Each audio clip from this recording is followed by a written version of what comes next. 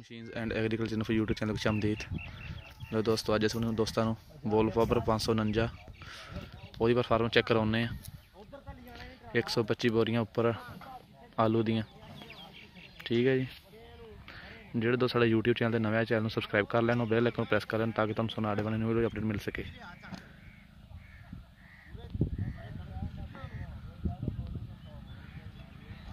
ਉਹ ਜਾਲੀ ਇੱਕ ਇੱਥੋਂ ਲੱਦੀ ਹੈ ਨਾ।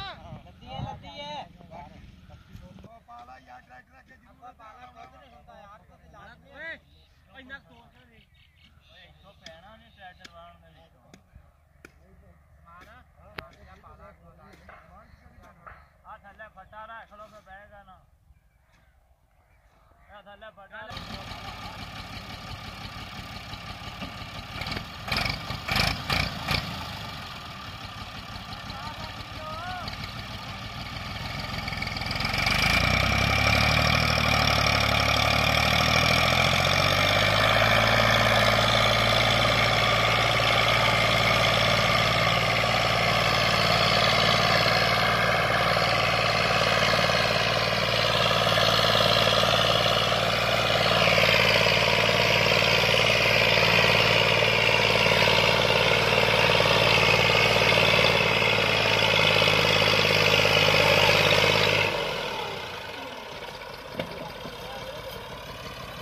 ਥੱਲੇ ਟਰੈਕਟਰ ਇੱਕ ਹੋਰ ਪਾ ਲਈਏ ਪਿੱਛੇ ਨਾਲ।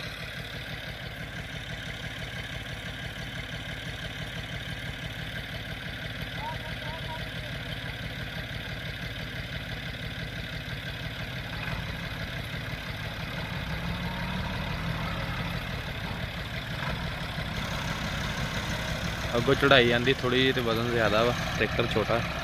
ਉਹਦੇ ਕਰਕੇ ਟਰੈਕਟਰ ਦਾ ਕੁਐਸਚਨ ਕਰ ਲਈਏ।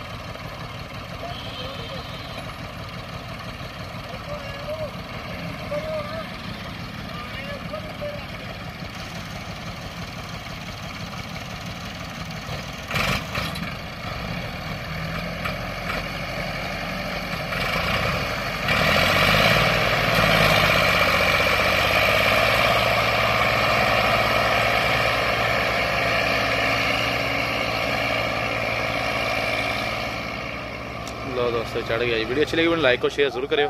ਮਜ਼ੀਦ ਇਸ ਤਰ੍ਹਾਂ ਵੀਡੀਓ ਦੇਖਣ ਵਾਸਤੇ ਸਾਡੇ YouTube channel tractor machines and agriculture info ਨੂੰ ਸਬਸਕ੍ਰਾਈਬ ਕਰ ਦਿਓ ਔਰ ਬੈਲ ਆਈਕਨ ਪ੍ਰੈਸ ਕਰ ਦਿਓ ਤਾਂ ਕਿ ਤੁਹਾਨੂੰ ਸਾਡੇ ਆਉਣ ਵਾਲੀ ਨਵੀਂ ਵੀਡੀਓ ਦੀ ਅਪਡੇਟ ਮਿਲ ਸਕੇ।